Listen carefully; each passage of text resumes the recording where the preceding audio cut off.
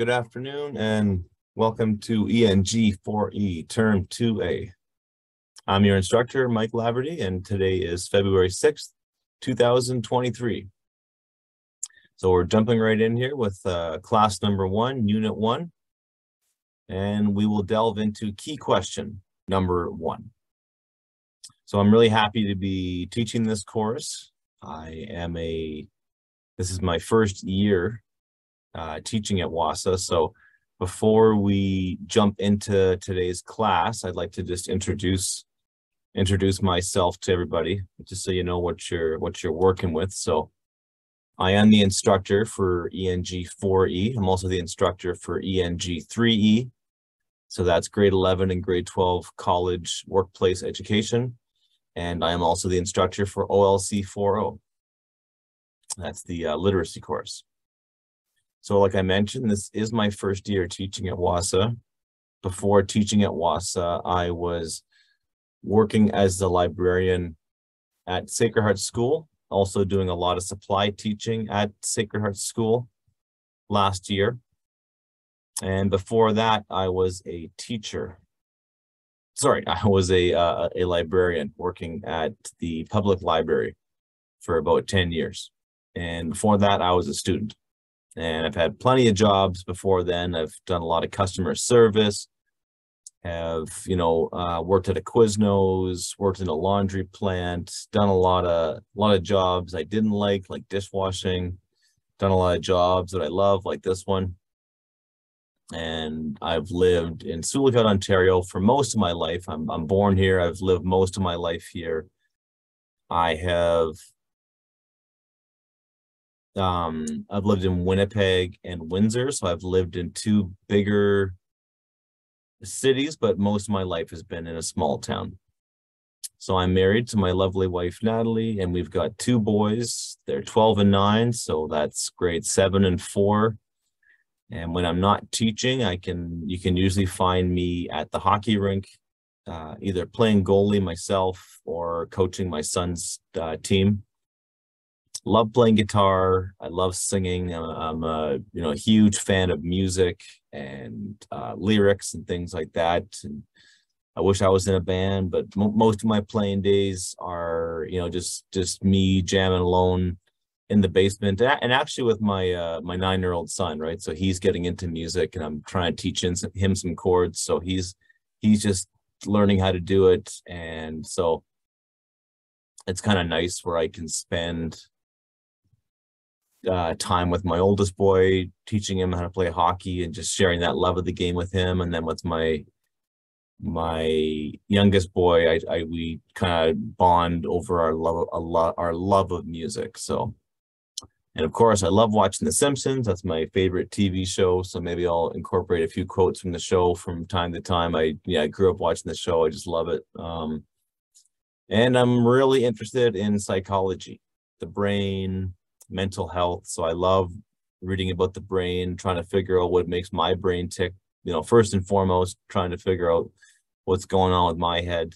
And but I'm really interested in like just how we learn and how our brains are set up, and especially you know from a teaching point of view, right? Like, so what's the best way for me to teach and you know what's the mental states of my students what are they going through how can i support them right because i think you know sometimes when we're teaching, we just get too focused on, you know, like getting through today's lesson and this little checkpoint we gotta we gotta get through. But it's um yeah, learning learning is hard and it's it's challenging. And if it's if if it's worthwhile and if you're learning something important, it's gonna be hard and you're gonna have struggles up and down. I know that uh, a lot of people, a lot of students I've talked to from taking this course, you know, it's it's it's often hard to just just to get started, just to put some words on the page. And you know, I think we all suffer from feelings of like self-doubt and you know, like, can I get through this? So I just want to give a shout out to all the students and just say, you know, you you, you can do this. It's going to be hard work, but if you just take the time and pay attention to the to the course assignments. I know you can get through it and and that and my job is to help you is to help you get through it, right? So that's want to just really stress that that I'm here to answer your questions, There are no wrong questions, you know, like if, if something isn't clear to you in the units, if a question is, isn't clear to you, then ask, you know, get, get clarification, talk to me, say, Mike, I don't understand this question. Can you walk me through it? And I would, I'd be more than happy to do that. So I love when students are engaged in their own learning and you know, that's what I'm here for. So just, I'm, I'm here to help. So just reach out anytime you want and, and I'll put up my contact info on the screen in, in a second. So before we jump into our classes, every day I will put up some announcements. So some days will be longer than others, depending on what's coming up and what's on our schedule. But every day I'll put up some announcements, right? So we are in week one of classes in term 2A. There will be nine classes, sorry, nine weeks in total. And we usually do four classes per week, so a total of 36. But there will not be a class held on Monday, February 20th, so that's Family Day, or Louis Riel Day if you're living in Manitoba or Saskatchewan. And March break is from the 13th to the 16th, so there's no classes there.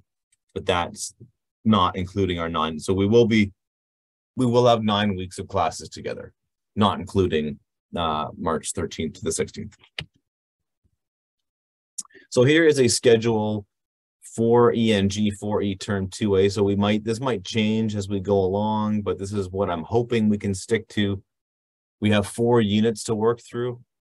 So I'm hoping that the first two weeks will be devoted to the unit one, weeks three and four, unit two, weeks five and six, unit three, and week seven and eight will be unit four.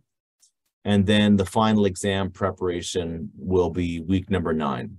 So so during week number nine, all of my classes will be devoted to making sure that students are prepared for the final exam. So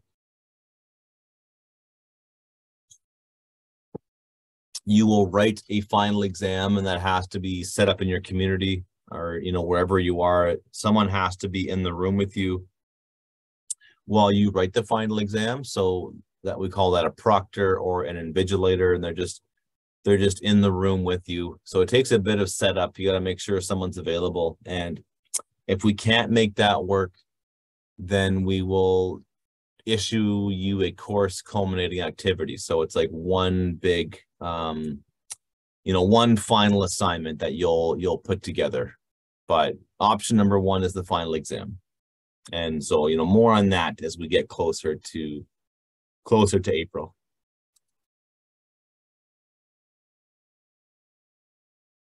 So ENG4E is broadcast live Monday to Thursday from 2 p.m. to 2.55 p.m. Central Standard Time. So please, please note, you know, if, if you're watching this on YouTube or if, you know, you, you've you tried to tune in live, just know that our studio is in the process of being moved around. So we've had to shuffle some uh, setup around here in, in the Wahsa studio. So I'm hoping that we can have these phone lines up and running as soon as possible.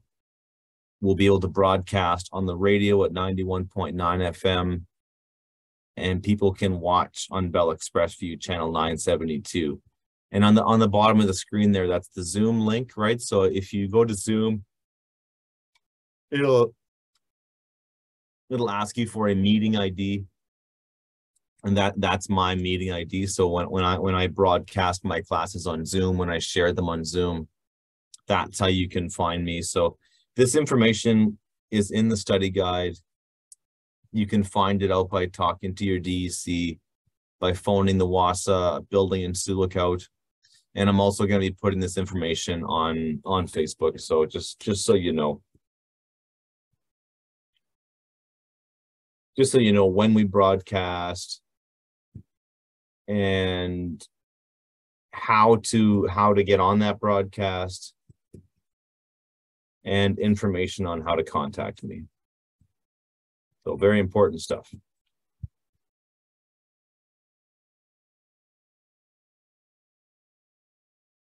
So usually the day after I broadcast a class, I will put it up on my YouTube channel. So if you search for Laverty Wahsa, you'll find you'll find me on YouTube. And then I, I organize all of my videos into playlists. So if you're looking for ENG4E, you could search that on my website, on, on my YouTube channel, or you can go to the playlist and you will find an ENG4E playlist. So that'll be as of tomorrow, February 7th, right? So once I once I have this file ready to go, I'll put it up on there. And that's where you can watch them at any time.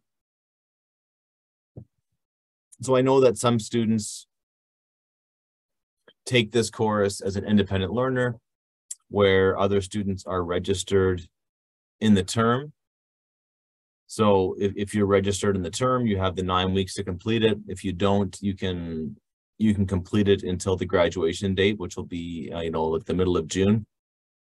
But it, it's important to stay on top of your on on top of the, these assignments, and I would highly, you know, strongly suggest that you try to you know, if you're doing an independent learner, try to stick to like, you know, one or two courses at the most and you know try to be consistent and to you know get assignments to your instructor you know at least once a week just so i can give you feedback and i can help you improve on where you're going right? So so more on that. So if you're submitting work you've got a few ways you can do this. So you can always just rely upon your gec just scan and email it or fax it right so they'll help you to to use one of those three options you can do this yourself, um, scanning and emailing it. And if, if you're doing it yourself, you need to send it to student work at nnec.on.ca and CC it to myself. So I'll put my email address up on the screen on one slide here. So, but it's important to send the work to the to the two places, right? So student work at nnec.on.ca and my email address. You can also fax pages to that number listed on the screen. So 1-800-463-7852. And you can also take photos with your phone and then email uh, or send that on Facebook Messenger, right? So if you're if you're taking photos with your phone, just make sure that you, you take the time to give me a clear, you know, take the time to get it, you know, as as straight and kind of legible. I need I need to be able to, to see your work.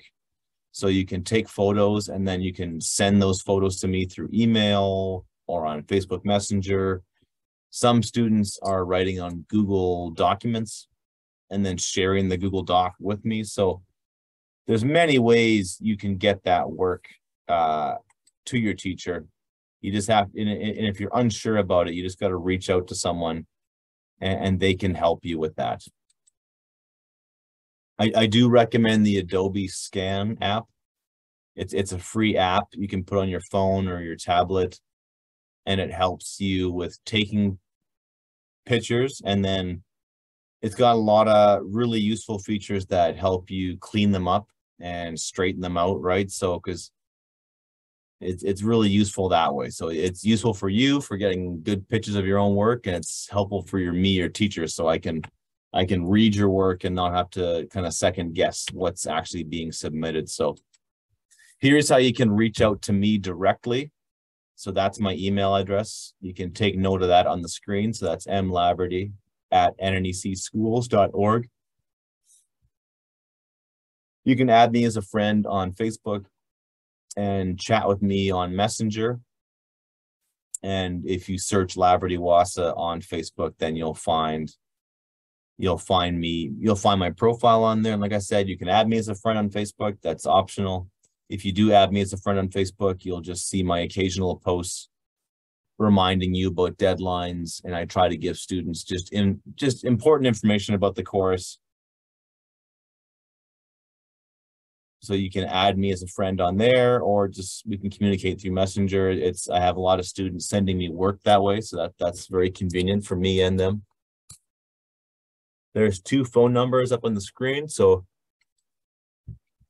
if you, if you phone the Wahsa office at 1 807 737 1488, extension 2211, you'll get my extension. If you phone and the receptionist picks up, just ask for Mike and then they will direct your call. And if you don't want to get any long distance charges, then you can of course phone 1-800-667-3703. That's our free long distance number. You're going to want to reach out to me Monday through Friday, 9 a.m. to 3 p.m. Central Standard Time. That's when you're going to find me sitting at my desk. Of course, I'm teaching from 1 to 3, but you know, 9 till 1 a.m. Um, or sorry, 9 a.m. till 1 p.m. That's probably the best time to to reach out to me. But if if you do reach out to me in the evening or in the very early morning, then I will check that message uh, as soon as I get in, and I'll make I'll make yours a priority, right? So I'm usually not very active with my email and my Facebook Messenger outside of my my office hours. That's when I'm actually in the building. But I do I do want students reaching out to me, asking questions. It's a it's it's a huge part of this course, so please feel free to do that and get clarification on anything you might need clarification on, right? So if you want to send in work, you know, send that work in as soon as you can. And just one quick note too about submitting work you you don't have to finish off an entire unit and you can send me one assignment and I'll mark it and get it back to you, right? So I I I really prefer it if you send in smaller groups of smaller groups of assignments. Like that's that's that works best for me. And it's it's very important that you get feedback on your work. So this is a workplace preparation course. So I think that's something that you should embrace and it's part of life where it's a give and take and you, you have to be open to criticism and open to someone looking at your work and you know taking it apart and and for good and bad right so i'm i'm gonna i'm gonna show you the the things you're doing well. So it's not that's not you know like when when you criticize someone it it doesn't always have to be negative right? So you know uh it can be positive right? It's just i just need to see where you're at and then kind of give you some direction. And I, I often compare this to you know having a hockey coach watch you in the middle of a game or like watching someone somebody watching you do anything and the, and like you're performing or you're doing something and someone just takes you aside and said okay you're doing this well but have you thought about doing this? And so you're not just throwing assignments out into the void and getting a number on it right? So i will give you a grade. You know i'll give you a 7 out of 10 or a 9 out of 10 but i'll always give you some kind of written feedback too right? So it's not just about the number. It's about you know ways you can improve and ways you can make your work even stronger, right? So sometimes I'll give a student a 10 out of a 10, but I'll still give them some feedback and still say like, good job, but like maybe think about this. And next time you do it, think about that. But the most important thing I want to emphasize here is just to send me small batches of assignments, right? Just send me you know, if, if you sit down one night and work on three of them, send me those three, right? That's always best, right? You don't have to collect them all into one unit. Just send me whatever you have and I'll mark it and get it back to you as soon as I can. Okay. And your next steps. Okay. So I need you to contact me through email, Facebook, Messenger, phone, or text. Um, let me know. Let me know you're out there. Um, let me know if you have the course material. So that that's a really important question for me. I, I need to know that you have the course material. You have what you need to be successful in this course. So, and, and we'll talk about that in a second. You need to read ENG 4E, the study guide, and you need to read unit one of ENG 4E. So those are two things you can do on your own um, right off the bat. You can read the study guide, read all of unit one, and then get yourself started um, working on the assignments.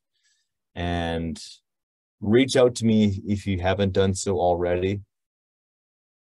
So I, I just need some form of communication from you just to let me know you're out there and you've you're you've even if you haven't gotten started and you can't hand anything in, just just drop me a line. Just say say you're here, you're registered in the course, you're good to go, and then we'll take things from there.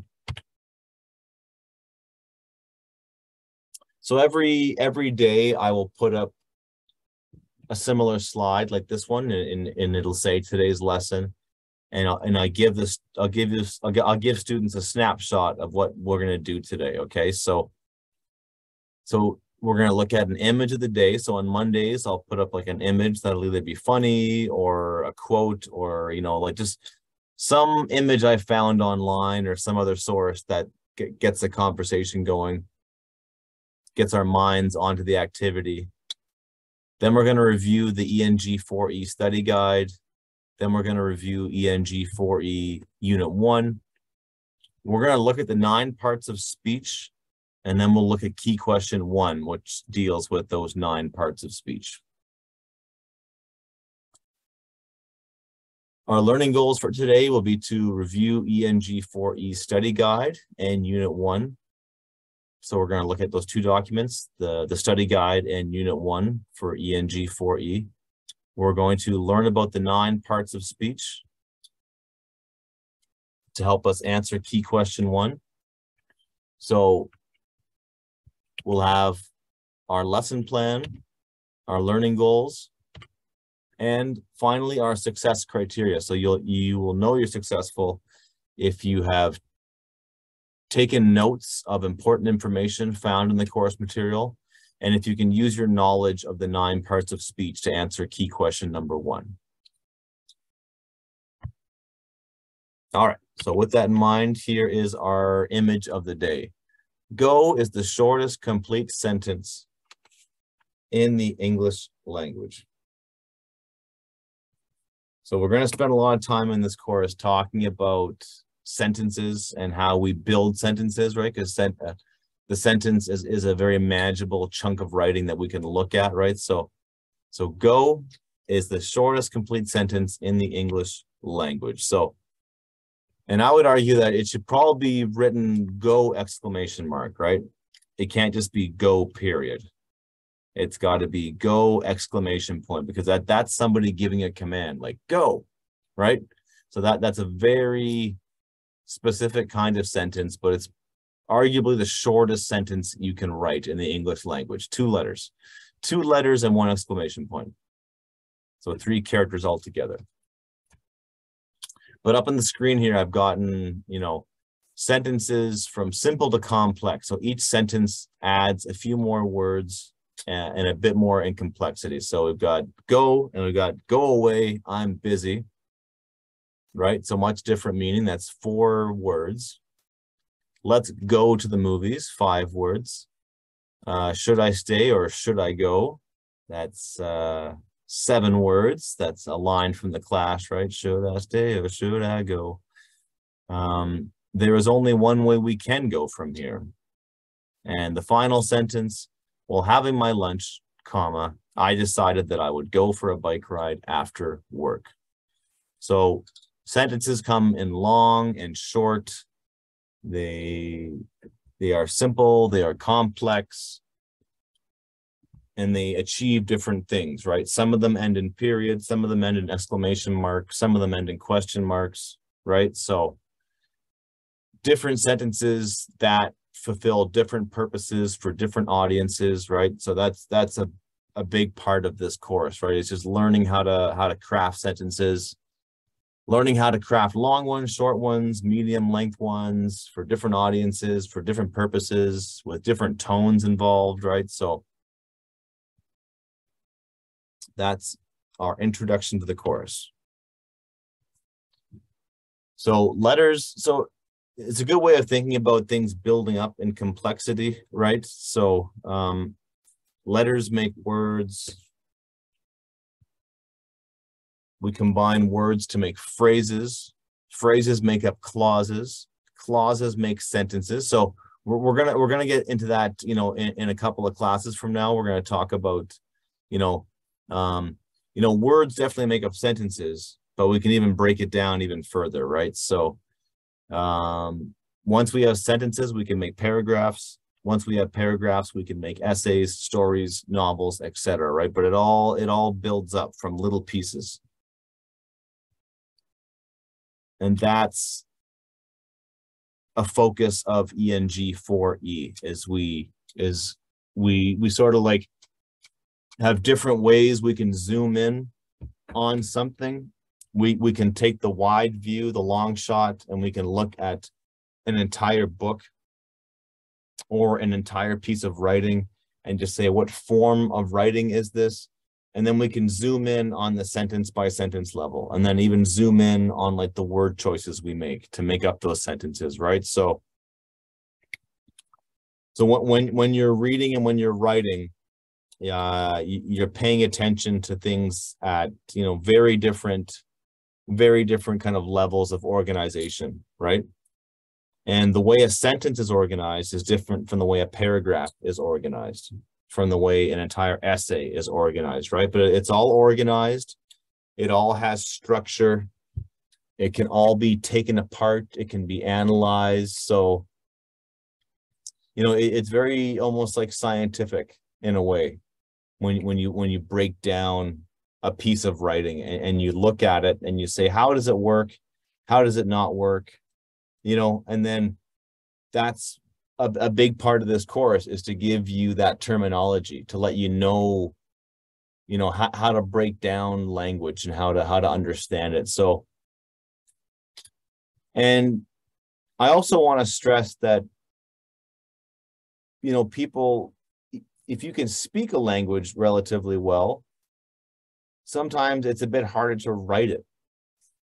And you know so and then you you may understand a lot of these things. You just don't have the words to put to them right? So we're going we're going to jump into a discussion on the parts of speech. And you know kids as young as 3 or 2 they they they know what what a verb is. They know they can't tell you what a noun or a verb is unless they're like really smart but they know how to use them right they don't know what pronouns are but they use them all the time right so i think you know, you can use a language, you can speak it well, but when it comes to writing, that's when things get a little bit trickier, right? So I, th I think that's probably a common experience for a lot of people. Like they, you know, they can read the language well enough, they can speak it, they can have conversations, and even if you've been speaking English for a long time, but then when it comes to writing things down, that's where you you might have a little bit of trouble and, and you might need some it might need some work just to clarify a few concepts and that's where this course comes in handy okay so I also want to quickly note that we we will be reading a novel in this course. It's called Where the Rivers Meet. It's a, it's a really good book. It's very well written. Um, it's it's a little bit older, but it's still, I think, still quite relevant. Takes place in BC. Um, but I think that there's a lot of parallels with people who grew up um, in in in Northern Ontario, in Ontario in general, right? So I think you're going to find some, you know, if you grew up in a northern community, if you grew up in in Ontario, you're you're going to find some similarities here. So we will discuss this novel in unit two. So I'm not going to be discussing it at all or not not really much at all in in our unit one discussions, but I will bring it up because it'll be a, it'll be a primary focus of of unit two. So please let me know if you need a copy. So that's important because I, would like you to start reading this as soon as you can. So it, it's a, it's important that you start reading this as soon as you can. And so but by the by the time we're on to unit two then you've at least read half the book or at least a couple of chapters and you can jump right in. So so just let me know if you need it. And then once you've had it start reading it as soon as you can. All right. So before we do this before we before we jump into the nine parts of speech i do want to talk a little bit about the the study guide.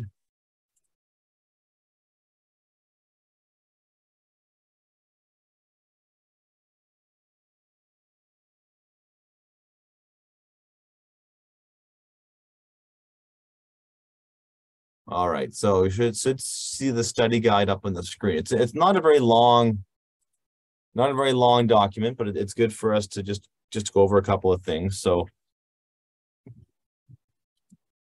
So there is the study guide. It's, so this is a full credit course. Gives you the opportunity to develop practical written and oral communication skills, especially for today's workplace. So there, there is a a decided workplace uh emphasis on this course. As as we get towards the end, you'll work on cover letters and resumes.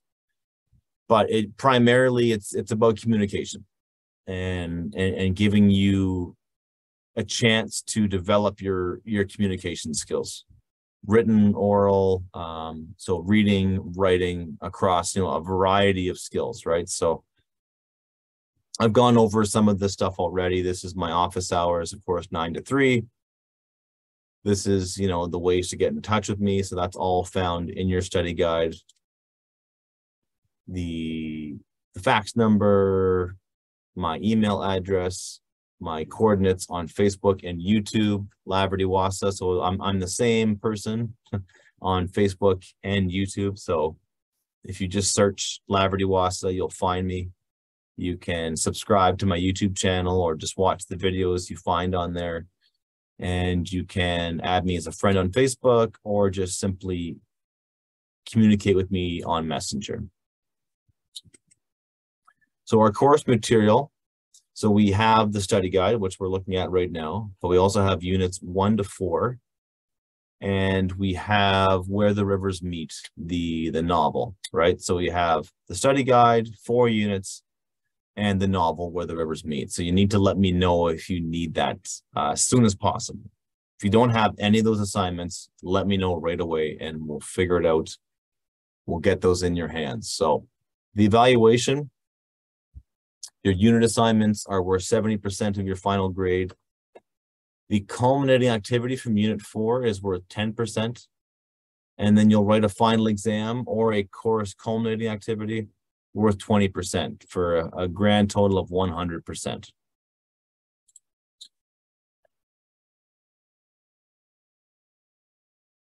So we do have four units.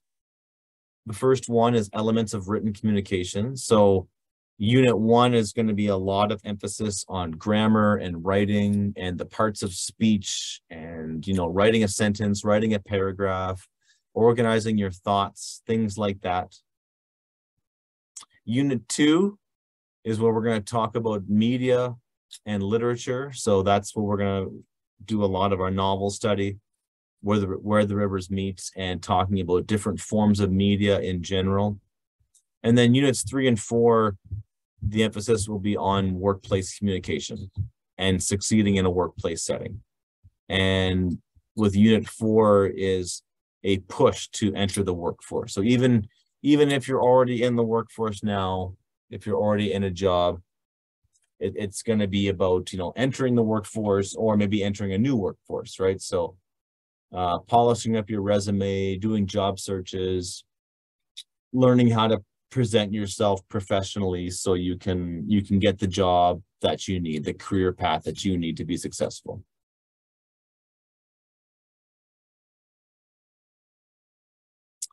And then at the end of the study guide, there are learning skills and work habits that students are expected to, to, to practice. These will be on your final report card once you once you complete uh, the assignment, right? So, so you can just review review the achievement chart. This is the these are these are the levels that I will use as a teacher when when marking um marking your assignments, right? So having a strong sense of audience and purpose, using the conventions of language, right? So this is just just a way for us to evaluate how you're doing in the course. Okay, and that is the study guide.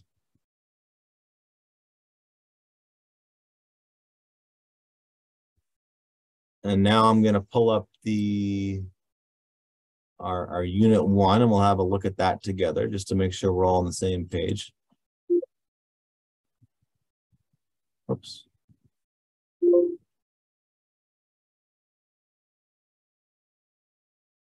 Okay, no, I don't.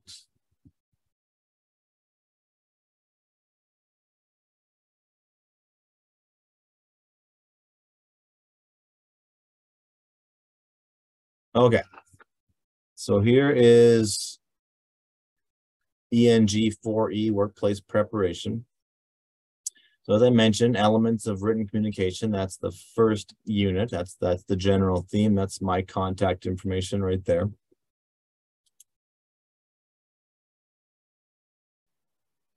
Got a table of contents.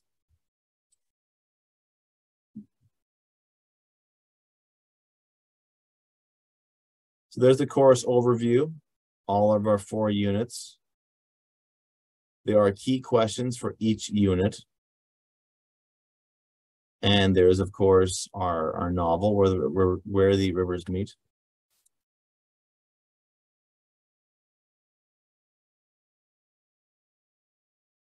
So as soon as you jump into the textbook, you'll see, or sorry, the unit book, you'll see that there's activity one, and then each activity so is divided into into key questions, right? So this one example, it, it starts off discussing the the parts of speech, and which I'll go through in my slide deck in a moment. So pronouns, verbs, adjectives, adverbs, prepositions, conjunctions, interjections. So it gives you some reading material and then if you keep flipping through the page, keep scrolling through, you will get to a key question. All right. So you you are responsible for answering the key questions. So you can either, I mean, if if there's room, you can write it on the page itself and photocopy that in. But I think um, the best way for you to do this would be to write things down on a on, on a separate piece of paper. So on a separate Word document or on a separate piece of, of, of paper, you know, write down key question one, unit one, and then just, you know, write down the part of speech to be identified. And so, and so for this assignment, you'll see that you have to identify all these underlined words and, and tell me what are they? Are they nouns? Are they pronouns? Are they adjectives? Are they verbs slash participles? Are they adverbs? Are they prepositions? Are they conjunctions, right? And there are no interjections in the paragraph. So to go back to our, our image of the day, go, uh, go is a, is a verb, but it can also be like considered an interjection. Um, but we'll more on that in a second. So, so that that's how that's how the unit assignments work. You'll have some backup, some context like punctuation marks, some commonly misspelled words. So you, so you read all of this stuff and you make notes of on it. And then you get to a key question, right? So you so read everything that leads up to the key question and then when it comes time to write the key question, you know, get out a separate piece of paper or start a fresh Word document and write, you know, key question number two, right? So just always identify to me, um, you know, whenever possible, like your name, your community, uh, the, the chorus itself. Yeah, so your name, your community, the course code you're taking, um, the unit, and the assignment number. So as, as much information as possible on on the sheet of paper, so I know you know who's submitting it for what course and what unit. So just give me as much information as possible, and that'll help me to understand which assignment you're working on, right? So so if you just keep flipping through this, there's a lot of assignments in here. So key questions one through, I believe, I believe it's up to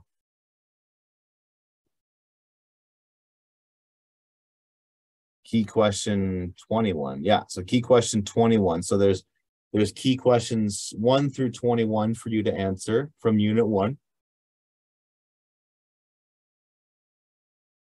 And then once you've got those key questions done, then you are responsible for the culminating activity. So at the end of every unit, there's going to be a longer activity, which is known as the culminating activity.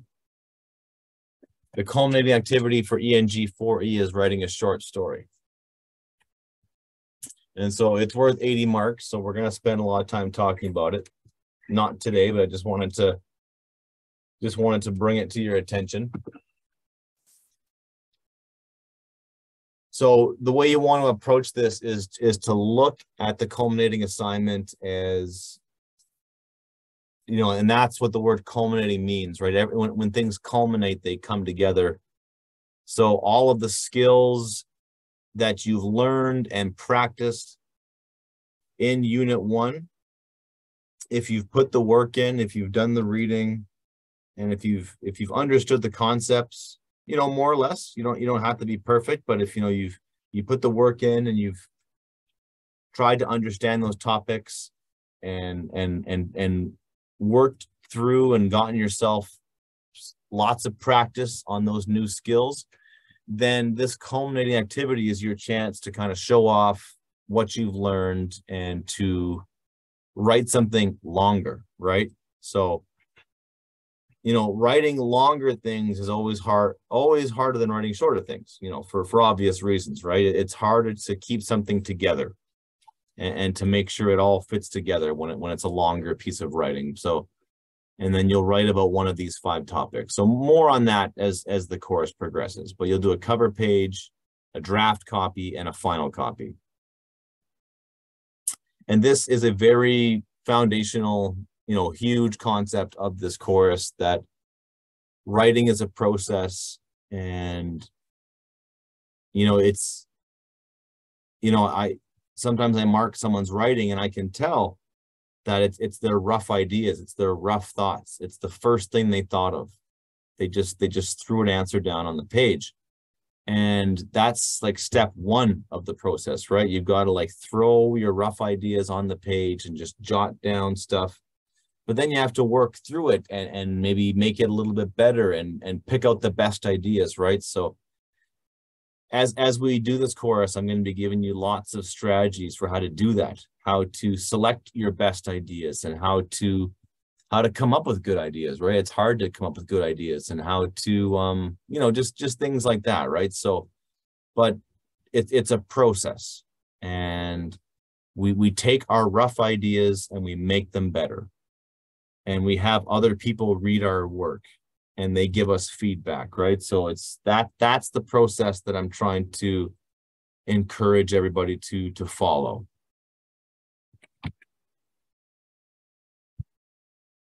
Okay. So back to the slide deck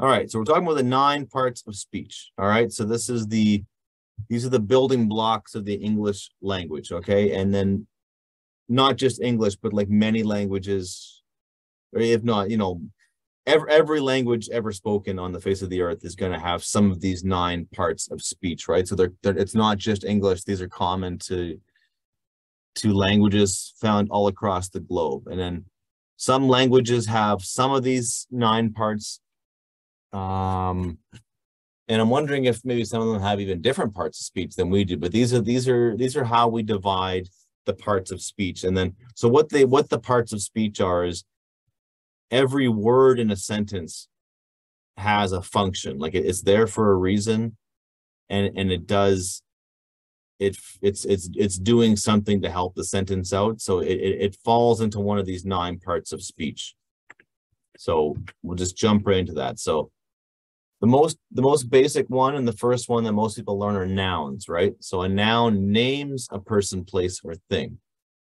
So nouns include teacher, Sioux lookout, happiness, right? So they can be people, they can be places, or they can be things. And so it's important to note that a thing can be like an object, like a physical object, like a like a desk or a hammer or a wristwatch.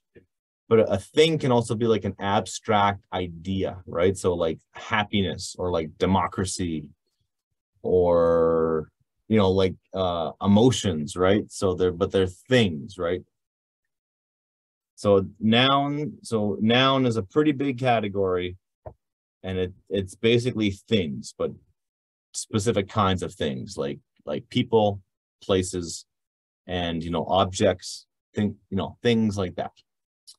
Verbs, these are action words. So ran, run, running, different forms of the same verb, right? So the verb is an action word. So when we write sentences, we're sharing ideas with readers, right? So we introduce ideas and then we tell people what those things are doing, right? So that's um like if you read a fiction book, right? Uh, a mystery novel or a spy novel, there's going to be people in that novel and the people are going to be doing things. That is like some of the most basic elements of of a sentence. It's about something and something is either happening to that thing or they are they're doing something. Okay, pronouns. These are words that take the place of a noun. So I, he, she, it, for example. So, um, you know, so Mike Laverty is a teacher with Wahsa. He teaches ENG4E, right? So the word he takes the place of my full name, right? Um, that dog over there is a husky. You know, it it likes to run, right? So then it takes the place of husky, right? So, but it's the pronoun takes the place of a noun. And more on that as we go along. Adverbs. So these are, so adverbs and adjectives are what we call modifiers. And then modifiers, they change something or they, you know, they modify it. They they they they put a they put a twist on it or they give us additional information. So adverb so an, an easy way to to remember this is you know the word verb is right there in the word. So an adverb is adding to a verb. It tells us how an action is done. So quickly slowly expertly. So um someone can speak quickly. They can speak slowly. They can speak expertly, right? So the verb is speak. Adverb tells me how they spoke. Adjective, it describes a noun. Um, and then I just wrote down the five senses there. That an adjective doesn't have to be from there, but a, a lot of them do, right? So adjectives, they often tell us what things look like, what they sound like, what they feel like, what they taste like, what they smell like, right? So soft, bright, red, sour, hot. So they're descriptive words, right? But they're not describing actions, they're describing things or sometimes an entire sentence, right? So they describe a noun or a group of words. Okay, article. Uh, they're used before nouns and they tell us, you know, so an apple, a bike ride, the bike ride. So there's only three. There's only three articles in the English language. So the best definition and the best one that you're probably going to remember is a, an, and the. If you see those three words, that's what you're looking at. It's an article. All right, conjunctions. These are the T-I-O-N words here. So conjunction, preposition, and interjection.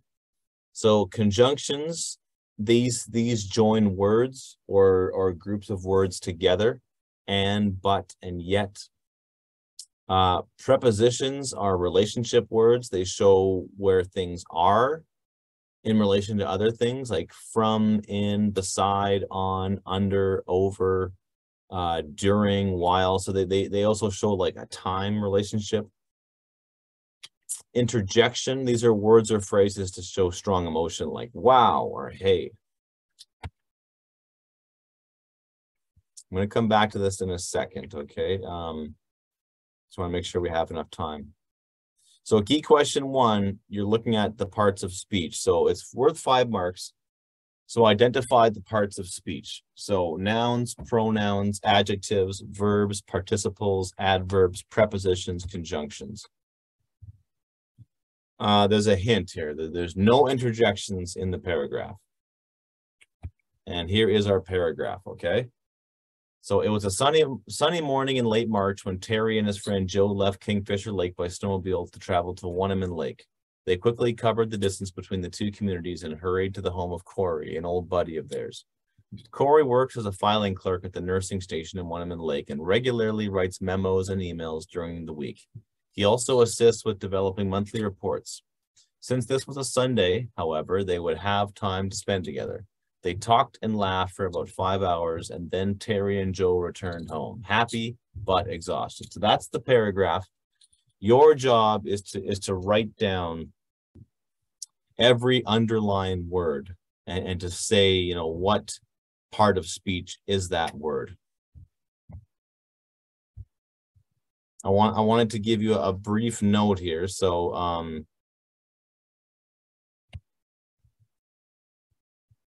So it's important to note that sometimes a word can have different, it, it can be a different part of speech depending on how it's used, right? So um, words like a, and, and the are always articles. But let's take a word like emails, for example. Marcel sent 14 emails before 9 a.m. Um, so in that case, emails is a noun. It's, it's a thing that he sends. He sent 14 of them. The principal emails the teachers every week about their performance. So in that case, emails is a verb. It's something the principal does. I don't want to receive emails from my boss. Okay, emails is a thing in that sentence. When class is canceled, the teacher emails the students to let them know. Now it's a verb, right? So depending on the sentence, that word emails can be a verb or it can be a noun. So if we go back to our sentence here, and we got this sentence right here, Corey works as a filing clerk at the nursing station in Wunnumin Lake and regularly writes memos and emails during the week. So writes is a verb. That's what he does. What does he write? He writes memos and emails. So I won't tell you the answer, but hopefully you've you've picked it up. So really pay attention to that. Okay. Um, is it a verb? Is it a noun? It might be different depending on the context of the sentence. Okay. So without giving you the answers to this one, I thought we would just briefly look at um, an, an, article that I, I, found online. So this, this is from the Globe and Mail, okay? So it, it, it recently got revealed that Netflix is, is finally becoming serious on cracking down on password sharing. So the article says network Netflix is cracking down on password sharing. Here's what Canadians need to know. So Netflix is a proper noun. So a proper noun is a is something that names something specific. So proper nouns are people's first and last name, always get capitalized. The names of, of places like towns and cities and provinces and countries always are capitalized. The names of, of businesses and corporations like Netflix, always capital N, right? So that's a noun. Netflix says, all right, so says is a verb. That's what they're doing. Netflix says shared accounts. All right, so now, it, now in the English language, we usually have the adjective first and then the thing it's modifying second. So like in French, for example, it's, you know, la, la crayon rouge, right? So it's like, it's, it's it's the crayon red. It's the red. It, it's the pencil red. But in English, it's it's the modifier and then the thing that gets modified. So it's so we're not just talking about accounts, we're talking about shared accounts. So the word shared is an adjective and it modifies the word accounts, which is a noun. Netflix says shared accounts are meant to be used by people who live in a single household. Again, there you go. So single modifies household. So single is an adjective modifying the word household. Um, live is a verb. Um, um, stream, that's a verb, right? So, you know, 10, 15 years ago, we didn't use that word the way we do now, but now it's a verb, right? So you stream. Um, from is a preposition. It, it tells us where they're streaming from. They're streaming from the same account. So we've got an article, the, um, and but don't live in the same home. That that's a conjunction. Okay, so we don't have time to go through all of this, but we'll we'll, we'll touch upon this tomorrow. That's all the time we have for today. Thanks for tuning in, and we will see you tomorrow.